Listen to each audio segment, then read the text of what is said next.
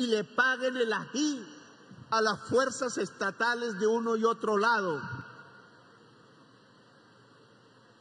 contrabandeando, sino que queremos que pasen por el puente. Nosotros abrimos la frontera. Ojo,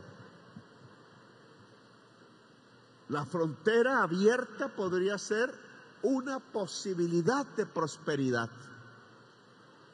Pero al cabo de un mes, por allí solo han pasado dos y medio millones de dólares en productos para aquí y para allá. ¿Y el resto de los productos por dónde está pasando? O sea, abrimos el puente, nos dimos la pela, corrimos el costo político y la economía sigue pasando por la trocha, porque allí uniformados, funcionarios de allá y de acá están cobrando la comisión. Y así vamos a construir la paz. Así vamos a construir la prosperidad. Señor ministro del Comercio, esas trochas se cierran porque se cierran. Aquí vamos es a otro camino, no que a unos vivos de aquí y de allá se le llenen los bolsillos y se enriquezcan. Aquí vamos es al camino a que el pueblo trabajador pueda tener un buen ingreso a partir de que crezcan las industrias de aquí y de allá, de que nuestra gente pueda hacer bocadillo como en campaña dormía ya en una de sus fincas paneleras y que esa panela y esa guayaba y ese bocadillo y esas confecciones y esos camisas y pantalones puedan fluir legalmente y enriquecer, sí, al pueblo, pero no al vivo. No abrimos ese puente para que los vivos en las trochas se enriquezcan. Así que vamos a hacer cambios de este lado. Y voy a solicitar cambios de ese lado. Ah, que va a hablar con Maduro, pues sí, tocó hablar con Maduro. Porque esta frontera es para la gente no para las mafias. Y siendo de la gente, esta frontera estoy convencido de que el norte de Santander tiene una perspectiva productiva en sus campos y en sus ciudades y que si a esa perspectiva productiva le juntamos el conocimiento, la ampliación de estas universidades, en lograr que la frontera no sea simplemente un paso de comerciantes, sino sea además un paso del conocimiento. Entonces aquí tendremos prosperidad. Aquí derrotaremos la pobreza. Aquí derrotaremos la desilusión. Así que nos toca ponernos las pilas yo he invitado al presidente del país vecino que reingrese su país al sistema interamericano de derechos humanos.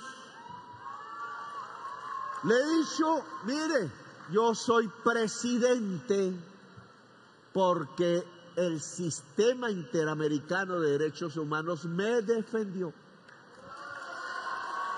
Porque de lo contrario, Aquí el fascismo me hubiera quitado mis derechos políticos, me había ya inhabilitado por 15 años, es decir, ya viejito, podría ver si la gente joven me volvía presidente. Todavía digo que soy relativamente joven, pero cada vez digo menos esa frase. Aquí se quiso cercenar la posibilidad de que alternativas políticas pudieran ser gobierno. Aquí encarcelaron como encarcelan aún hoy a los jóvenes por protestar. Aquí acabaron un partido político a partir del asesinato y el homicidio Aquí nos llenaron de fosas comunes. Aquí intentaron que la mejor perspectiva que se había podido construir para cambiar a Colombia, representada por mi nombre y por mi persona, no pudiera siquiera llegar a las elecciones. Y unos jueces, unos magistrados, surgidos de un tratado internacional que Colombia firmó en 1972, el Sistema Interamericano de Derechos Humanos, la Comisión y la Corte Interamericana de Derechos Humanos, una en Washington, otra en San José de Costa Rica, vinieron a defender los derechos humanos que por todos lados se quebraban para millones de colombianos y defendieron mi derecho a la participación política y por eso, y gracias al pueblo, soy presidente. Pues yo le digo en solicitud respetuosa al vecino país, fortalezcamos el sistema interamericano de derechos humanos para que no haya persecución política en América del Sur, para que la democracia se pueda profundizar, para que la libertad sea el sinónimo del cambio político, para que las diversas expresiones de Sudamérica se puedan encontrar, se puedan integrar para bien, no de los vivos, que se llenan los bolsillos de billete a través de la corrupción, sino para la gente del pueblo, para la gente que trabaja, para la gente que estudia, para la mujer, para la juventud. Esta solicitud que hemos hecho, esperamos respuesta. Creemos que lo que mejor puede suceder no es cómo la frontera se calienta bajo las voces de la guerra, sino cómo la frontera se pacifica bajo las voces de la diplomacia, cómo allá en Venezuela pueden solucionar sus problemas en su propia diversidad política con autodeterminación. ¿Cómo, sugiero yo, se podría discutir después de los conflictos el tránsito de Venezuela hacia ser un país no petrolero, porque este cambio climático para todos nos trae el mismo mensaje. Tenemos que transitar hacia economías limpias, que generen vida, no que generen muerto y eso allá y acá es una orden. Y allá debería ser materia de discusión entre unos y otros. Y aquí también debe ser materia de discusión entre la sociedad colombiana de manera libre, democrática y pacífica. Yo creo que es hora de hablar de que esta frontera no sea simplemente un puente abierto sino que sea una ilusión y una posibilidad real. Y a ese diálogo invito a todo el pueblo del norte de Santander, a cómo las posibilidades que tenemos, nuestras tierras, nuestra selva, nuestra biodiversidad, nuestras culturas humanas, nuestro conocimiento, puedan ser las palancas fundamentales para construir una sociedad próspera y democrática en el norte de Santander.